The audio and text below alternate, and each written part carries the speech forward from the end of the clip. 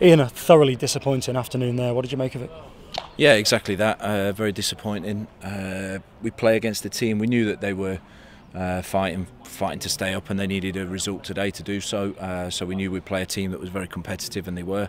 Um, they, they, had a clear game plan. Um, they, they sat very, very, very low. Um, pretty much everyone behind the ball. And we knew with the, the centre forward they have that they could counter and be a threat.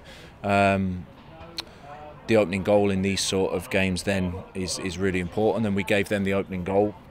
And then it becomes difficult because they continue with the game plan and, and to be honest we don't move the ball with enough speed and uh, we don't create enough um, against a really really well organised low defence. There are a number of incidents, individual incidences that we'll we'll come to. But but first of all, did it feel like at times they just they ran a bit harder, they wanted it a little bit more, and maybe that was based on the fact that yeah you are bedded in the playoffs, all but, and they were fighting for their lives. Um, no, it looks like that, but. Um, I think when they, they they're so low and working upwards all the time, every time we receive it, they got pressure on. We didn't have many moments where we had to defend more than three or four passes in a row, but they countered very well and they explo exploited the space that we left, and that's disappointing because we've talked about closing the space when we have the ball and uh, and we opened it, but um, yeah, it's. Uh, I don't think it's down to, to who worked harder. I just think that we came up against a, a team that sat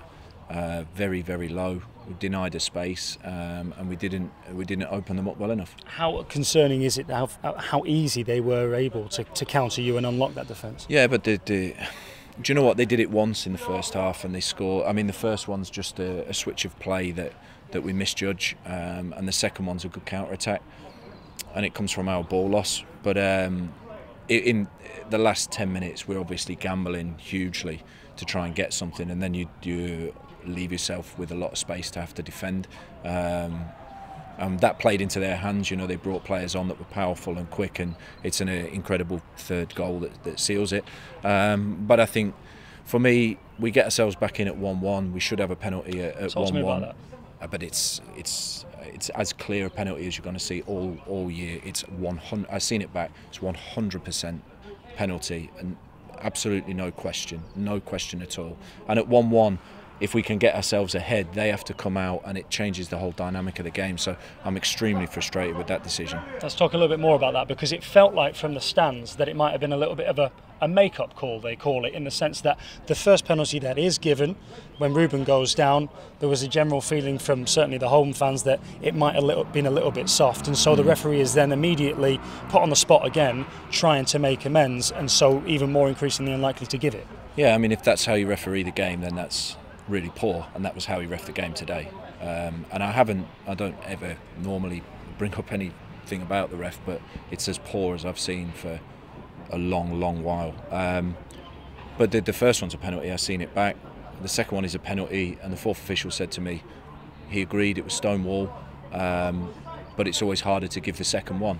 I don't understand that narrative, um, and it costs us because when you play against a team that is, like I say, sat low and you do create something and open them up, you need to take that chance and then that changes the game dynamic. It didn't they, they got ahead and then it's very hard it was very hard to we didn't do it well enough um, but it's hard to break them down second half. What, what do you do when, when say plan A like that and, and they have got that low block and they're defending really low when that's not working what do you do? Do you just do plan A better, or, or, what's what's the alternative? Yeah, I mean we can certainly do plan A better, but listen, we've got players that can open games up. We have one v one players like Ruben, Aaron, Eli. Uh, Cal Roberts that can beat players and open things up. We just didn't get the ball to them quick enough and early enough. So for me, the ball speed around the back was too slow, um, and that meant that we didn't get the the players that we need to open the game up on the ball early enough and well enough. Uh, and back to the referee again, he sends off Dion Kelly Evans yeah. in the 97th minute for what looked like a rather innocuous shepherding of his man out of bounds. Yeah, I mean, Dion screens the ball out. Uh, it's more a foul on Dion. I was expecting a foul for us, um, and then he sent Dion off. But I'll be honest with you, he was looking to do something the whole of the second half. Um, so uh, it didn't surprise me. It didn't surprise me at all. Um, but listen, this is what we had to put up with today. Uh, we were not good enough um, but we certainly weren't helped from that department. Does this say goodbye to any thoughts of a late push for third? I, I only talked about I never really talked about third. I talked about putting a good performance in and trying to get a result, which we didn't do today. Uh, so we have to do that on Monday. We'll see what happens on uh, after the game on Monday. The distance is a little bit. It's never been in our hands, and it certainly isn't now. So we just concentrate on, on finishing as strong strong as we can, and then hopefully when we're in those playoff spots, then uh, then we fight for, for everything in each of those games.